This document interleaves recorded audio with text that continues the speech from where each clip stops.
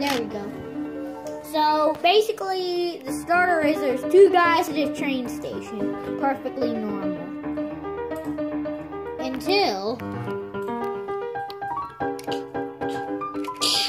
Oh!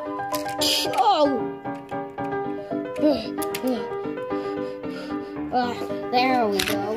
There we go, you sworn enemy. What? Sworn enemy? What?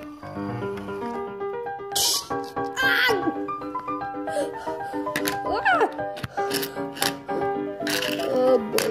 Oh boy. Oh, Tyler. Tyler. Engineer. Oh my gosh, I just ran somebody over. I, I just ran somebody over. Buddy, are you in there? Back up. Back up. Oh, dang it. Forget that happened. There. I'm alive.